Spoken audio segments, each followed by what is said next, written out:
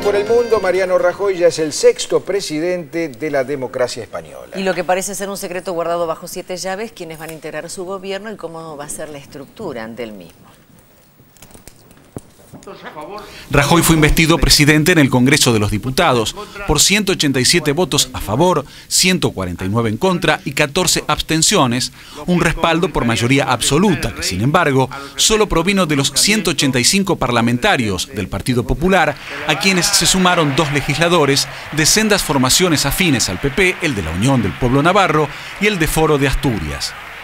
El resto de los grupos parlamentarios o bien votaron en contra, como los 110 diputados del Partido Socialista Obrero Español, los representantes de la coalición Izquierda Unida o los nacionalistas catalanes de centro derecha.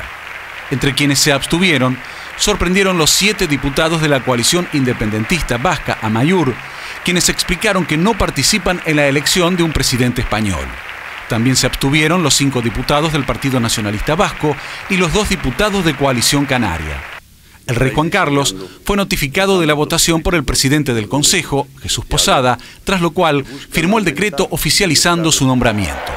Rajoy, que llega a la jefatura del gobierno español después de perder dos elecciones frente al líder socialista José Luis Rodríguez Zapatero, es el sexto presidente de la democracia española y el segundo del Partido Popular, después de José María Aznar, quien gobernó España entre 1996 y 2004.